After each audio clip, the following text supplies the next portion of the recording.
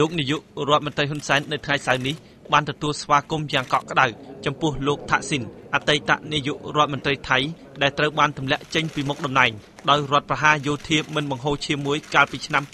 2006និងជួបដាច់ដライមួយទៀតជាមួយនឹងក្រុមមេដឹកនាំអាវក្រហមចំនួន35នាក់នៅឯវិមានសន្តិភាពនៃអគារទីស្តីការគណៈរដ្ឋមន្ត្រីជំនួបរវាងលោកថាក់ស៊ីននិងលោកនាយករដ្ឋមន្ត្រីហ៊ុនសែននេះបានកើតមានឡើងក្រោយពេលតែ2ថ្ងៃប៉ុណ្ណោះ បន្ទាប់ពីលោកស្រីយឹងឡាក់ស៊ីណាវ៉ាត់នាយករដ្ឋមន្ត្រីនៃប្រទេសថៃនិងជាប្អូនស្រីបង្កើតរបស់លោកថាក់ស៊ីនបានមកបំពេញទស្សនកិច្ចរយៈពេលតែ5ម៉ោងប៉ុណ្ណោះកាលពីថ្ងៃប្រហោះដើម្បីស្ដារទំនាក់ទំនងនៃប្រទេសទាំងពីរឡើងវិញបន្ទាប់ពីបានល្អក់កក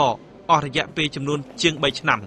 បន្ទាប់ពីបានដើរហែហោមដោយមន្ត្រីរដ្ឋាភិបាលមួយចំនួនលោកថាក់ស៊ីនត្រូវបានលោកនាយករដ្ឋមន្ត្រីហ៊ុនសែនបានចាប់ដៃស្វាគមន៍និងបានអោបក្រសោបគ្នាចំណែកឯក្រុមមេដឹកនាំអាវក្រហម ដែលដឹកនាំដោយលោកចតុភ័ណ្ឌព្រំផាន់និងលោកណាត់តាវុតសៃគឿត្រូវបានអនុញ្ញាតឲ្យជំនួបដាច់ដライមួយទៀតបន្ទាប់ពីជំនួបរវាងលោកថាក់ស៊ីននិងលោកនាយករដ្ឋមន្ត្រីហ៊ុនសែន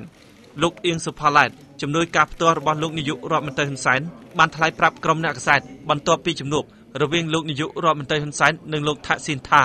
នៅក្នុងដំណើរទស្សនកិច្ចរបស់លោកថាក់ស៊ីនលោកនឹងថ្លែងសន្ទរកថា នៅក្នុងវេទិការបស់គណៈបកនិយមកណ្ដាល